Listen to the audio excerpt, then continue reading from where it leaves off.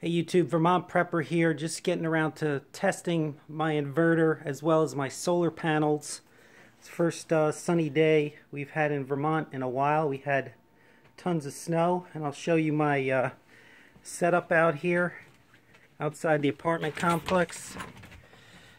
As you can see the sun is uh, out really good right now and uh, I have my four 150 watt panels set up right out here and uh, shoveled out a little bit of the snow to make some room for it.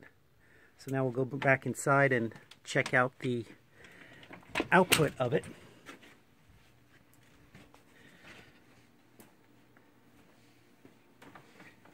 Okay, so right here is my BMV 712 monitor and you can see we're at 174 watts coming in. Uh, that's net. So I have stuff plugged in, which I'll show you. And let's see the uh, amperage. Net 12 12.8 uh, amps on the uh, solar charge controller. I'm pushing right now about let's see 24 amps. So, you know, it's a net difference there. You take the 12, 24 minus the 12, and you got about a net 12 amps there. So that's why the monitor shows that. Everything goes through the monitor. Uh, right now I have plugged in to this outlet. I have my Nature's Power inverter, and that's the 1800 watt, uh, 160 amp hour uh, battery. and uh, you know it's this is charging my big battery's charging it. And into that I have plugged in these computers these these two monitors.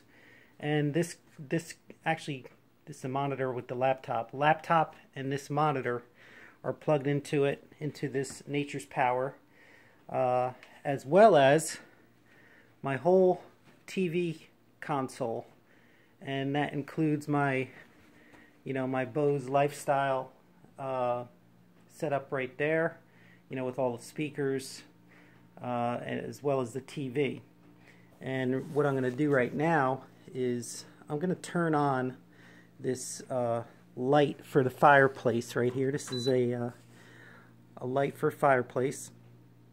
And let's see what that does. Will make a difference here I'm sure it will make some difference.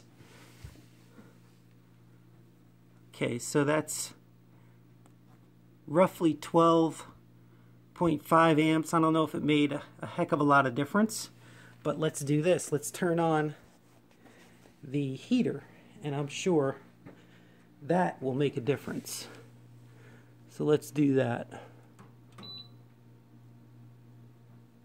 Alright, you see it's on. And let's see what that does. Well, it doesn't look like it's on yet. Hold on.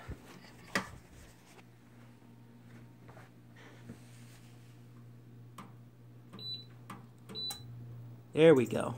Now we can hear it. And the inverter, you know, handles it no problem. That's my 3500 watt uh, Chinese job. And EDE is the brand. I don't know. Uh, you can find them on Amazon and on eBay really cheap. And I paid only $327 for this 12 volt. And this thing really, really cranks. Uh, I haven't had any issues with it at all. And only a, uh, uh the fan only came on when I put on a vacuum, which is, you know, 1200 watts or so. So let's see. All right, so now, yeah, now we're cooking. So now a minus 116 amps. So that's, you know, it's really drawing power uh, from the battery. Uh, and I'm a, a very, very negative right now. Uh, and you see my battery voltage, it was like 12.9, now it's 12.25. temperature's starting to crank up on the battery. It's 72. It was 71. It's not too bad. And it shows that that heater only gives me 1.3 hours on this 300 amp hour battery. So uh, you don't want to run heaters if you don't have to. They, they draw a lot of power. Uh, you see I'm drawing 1400 watts. That's a net negative, okay? So that heater is probably uh, probably about 1500 or so because I have some other things plugged in. So let's shut that off so we don't continue to draw the power.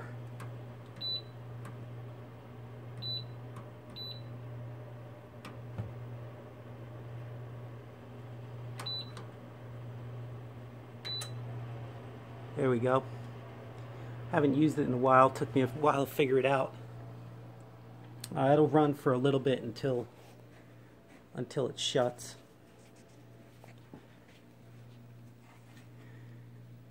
And now you can see we're back at a net positive of 145 watts. So uh, didn't like that heater very much, but at the same time, you know, I can run it for a little bit if it gets too cold, but I uh, don't see myself running it uh, for very long periods of time.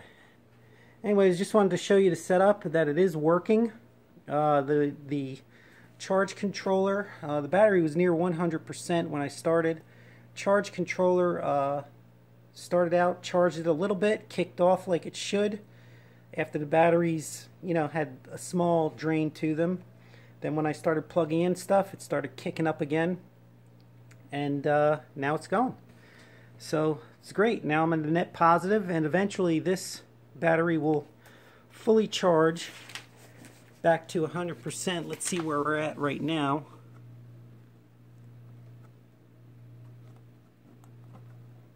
Net positive 11 amps, charging at 13 volts. And we're at 98.4%. You know, not too bad. It uh, drew it down pretty quickly though, and uh, you know, it's one of those things where you don't want to use it if you don't have to, that heater. All right, Vermont Prepper out. Uh, please feel free to comment, like, subscribe. I always enjoy comments. Take care, and as always, be prepared.